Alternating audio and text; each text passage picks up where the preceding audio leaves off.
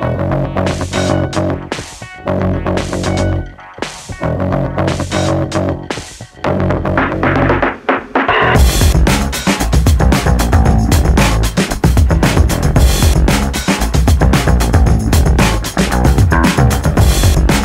this presentation, we will be looking at copper press fittings.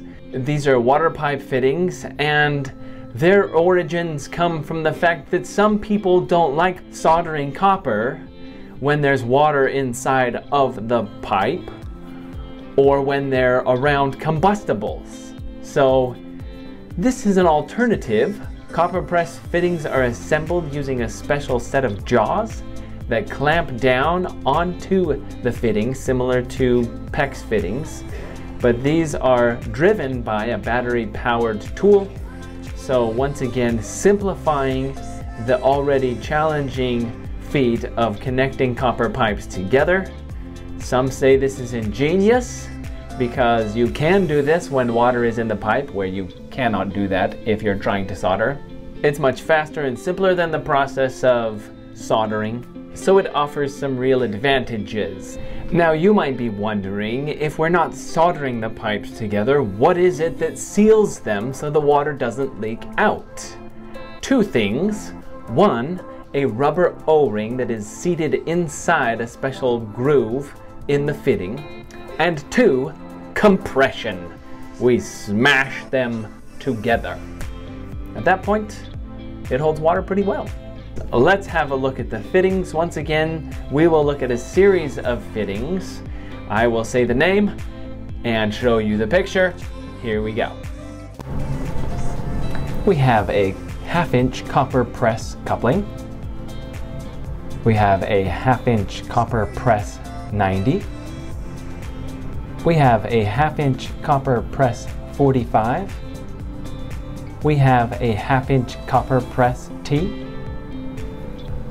We have a half inch copper press street 90.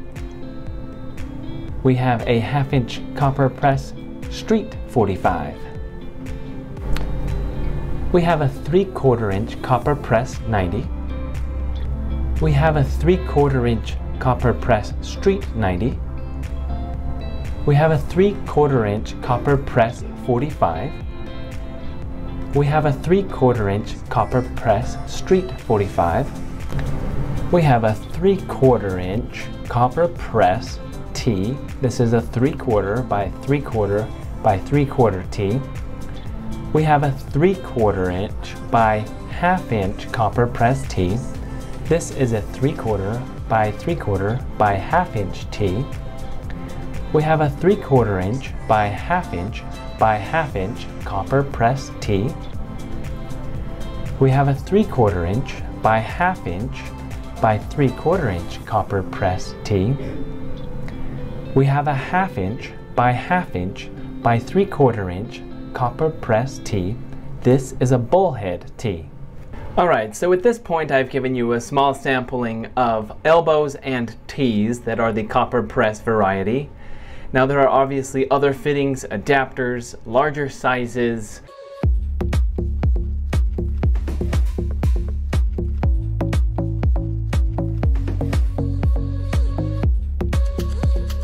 The main purpose of this video is to help you recognize the difference between a copper sweat fitting and a copper press fitting.